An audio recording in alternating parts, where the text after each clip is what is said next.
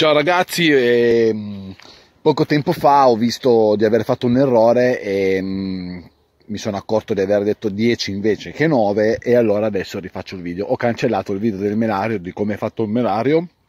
e, e lo rifaccio ma molto più corto perché così almeno non, non sto lì a perdermi eh, e voglio spiegare bene come è fatto un melario in poco tempo. Allora, semplicemente il melario è nient'altro che un, diciamo, una piccola cassetta fatta come, il, diciamo, fatta come l'arnia, di dimensioni diciamo, più basse, ma le dimensioni diciamo del quadrato sono completamente uguali e solamente più bassa perché contiene questi telai che praticamente sono telai da melario piccolini e sono 9 non sono 10 ripeto sono 9 telai e non 10 mi sono sbagliato nel video scorso a dire che erano 10 ed è anche per questo che rifaccio il video voglio essere preciso e non voglio fare confusione sulla gente perché qualcuno mi ha fatto notare che eh, non bisogna scherzare con certe cose perché sennò la gente si confonde, fa un casino e, e poi mette 10 telai dentro un melario. Beh, penso che comunque qualcuno ci potrebbe anche arrivare, con magari qualcuno no, comunque ragazzi, ripeto, sono 9. Allora, eh, questi telai vengono messi semplicemente all'interno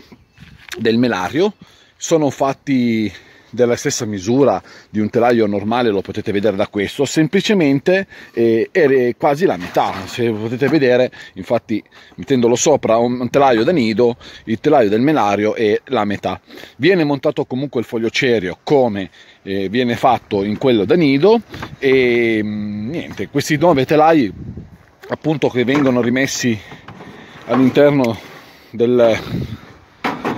che vengono messi all'interno del melario ehm, vengono riempiti dalle api solamente di miele. Perché solamente di miele? Perché tra il melario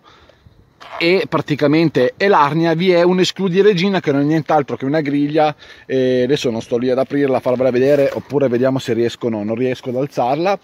non ho la levetta e, e, quindi praticamente passano le api a portare sul miele ma non passa la regina perché così se no andrebbe a deporre le uova al suo interno e verrebbe un pasticcio invece di raccogliere il miele raccoglieremo larve, polline e casino. Boh, questo è tutto, ehm, ci vediamo nel prossimo video, ciao B.